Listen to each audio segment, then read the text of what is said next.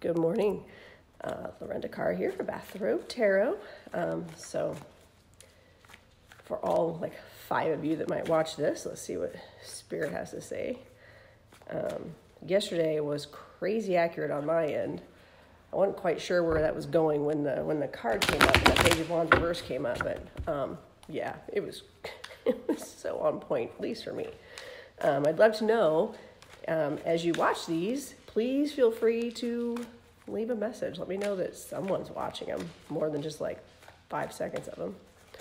Um, would love to know your thoughts and and if there's ever anything that you guys would want me to ask or talk about, I'd love to know that as well. Let's see what Spirit has in store for us today.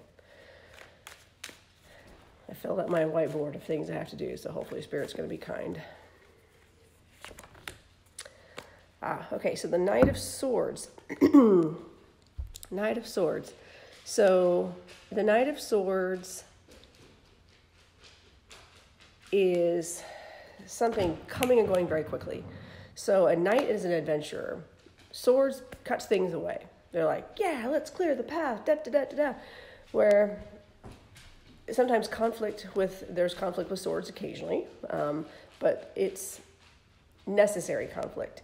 And so you see the guy's going in charge. Yeah, he's uh, he's feeling it. He's moving, and he's ready to take on the world and like just cut cut to the chase. So um, if there's something that comes in your direction today, just know that spirit's on top of that, and it'll come and go just it'll it'll go just as quickly as it comes in.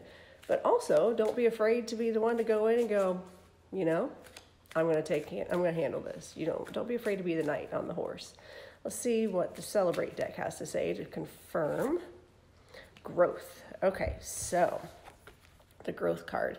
Um, so when we cut things away, it leaves room, kind of like when you when you prune a bush or when um, you you know prune flowers. Cut the dead stuff off that's not working for you it can create more growth. It makes room for growth.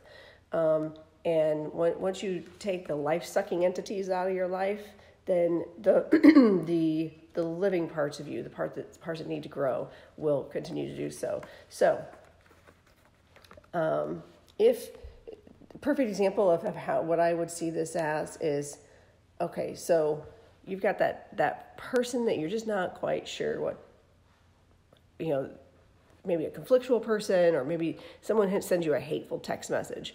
You got a choice. You and you quickly quickly can handle it.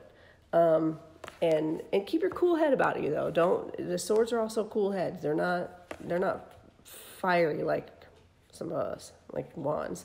Um, be be open to yes i'm going to cut this to the quick and, and get rid of it quickly but how can I grow from it?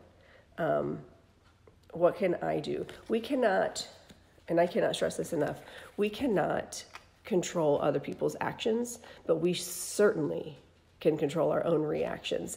And when something comes in quickly, we are faced with a choice when a conflict comes in, and we can choose to wallow in it. We can choose to be angry. We can choose to be petty. We can choose to act like toddlers, or we can do the right thing and grow from it.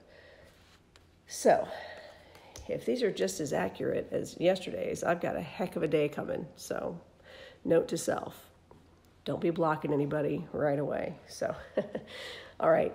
Thank you all. Have a wonderful day. And not sure I'll be around this weekend. I may not be. So, maybe I'll see you on Monday. Bye.